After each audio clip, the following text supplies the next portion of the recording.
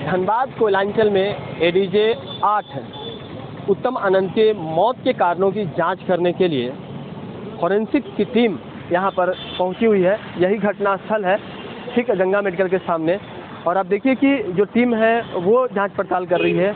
इससे पहले जो ऑटो बरामद हुई है गिरिडीह से, उसकी जाँच पड़ताल की गई और वहाँ से कुछ तथ्य जुटाए गए। जो फॉरेंसिक की टीम ने जो फिंगरप्रिंट्स वगैरह लिए हैं और यहाँ पर क्या कुछ सबूत मिलता है?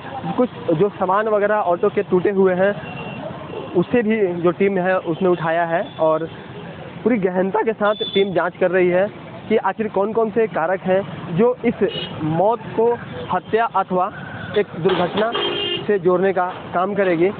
और पूरी जो टीम है, वो यहाँ पर पहुँची हुई है और टीम को सहयोग करने के लिए पुलिस के जवान, पुलिस के पदाधिकारी ऑफिसर सभी यहाँ पर मौजूद हैं।